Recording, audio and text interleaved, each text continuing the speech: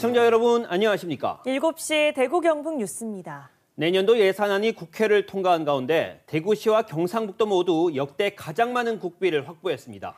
대구시는 반도체와 로봇 등 미래 산업 육성 관련, 경북도는 교통망 구축 관련 예산 확보를 가장 큰 성과로 꼽았습니다. 이종영 기자입니다.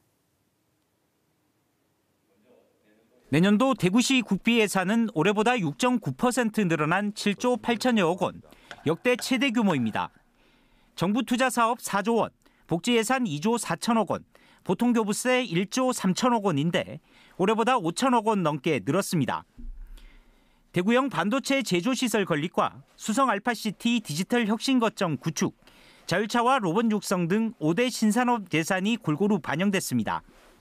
홍준표 시장 공약인 금호강 명품 하천 예산이 처음 반영됐고 노후산단 재생사업 예산은 증액됐습니다. 교통망 구축 분야에서는 대구 산업선 철도와 1호선 연장 등 기존 사업에 엑스코선과 3차 순환도로 건설 예산이 추가됐습니다.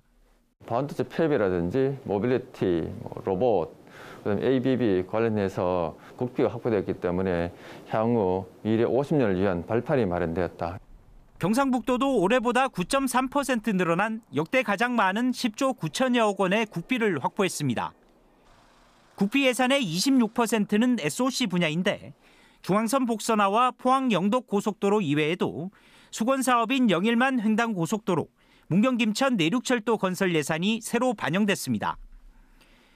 경주 혁신 원자력과 안동 백신, 메타버스 육성 사업도 내년도 예산에 이름을 올렸습니다. 태풍 흰남노 여파로 산업위기 선제 대응 지역으로 지정된 포항 지역에는 1,200억 원의 국비가 지원됩니다.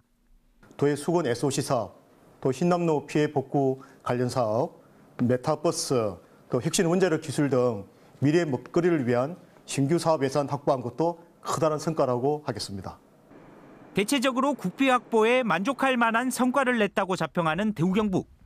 각종 현안 사업 추진에도 속도를 내게 됐습니다. KBS 뉴스 이종영입니다.